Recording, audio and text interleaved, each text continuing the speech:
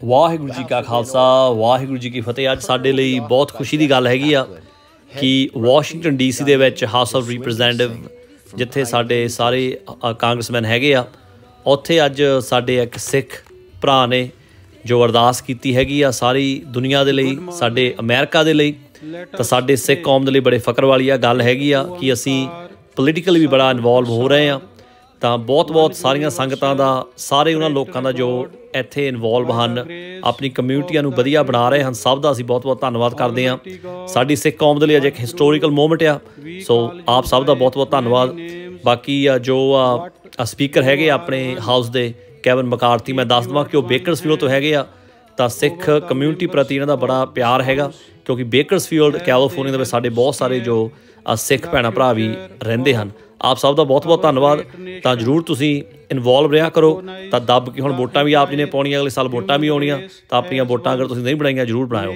ਵਾਹਿਗੁਰੂ ਜੀ ਕਾ ਖਾਲਸਾ ਵਾਹਿਗੁਰੂ ਜੀ ਕੀ ਫਤਿਹ। the entire humanity ਸਮੂਹ ਸ਼ਹੀਦਾਂ ਨੂੰ ਕੋਟ ਕੋਟ ਪ੍ਰਣਾਮ। ਵਾਹਿਗੁਰੂ ਜੀ ਕਾ ਖਾਲਸਾ ਵਾਹਿਗੁਰੂ ਜੀ ਕੀ ਫਤਿਹ।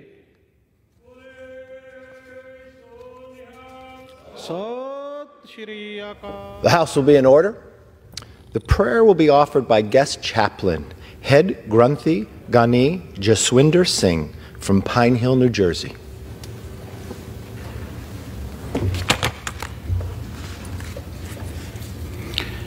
Good morning. Let us pray.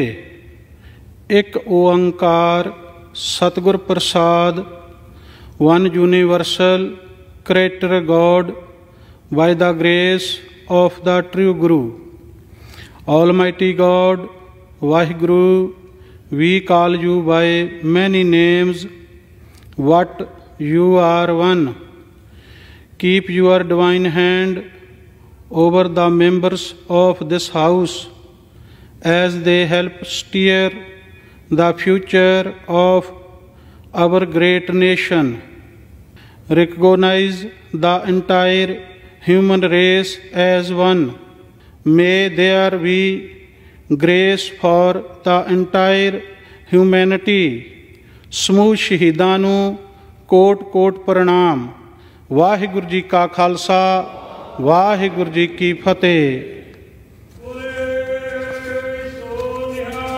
ਸਤਿ ਸ਼੍ਰੀ ਅਕਾਲ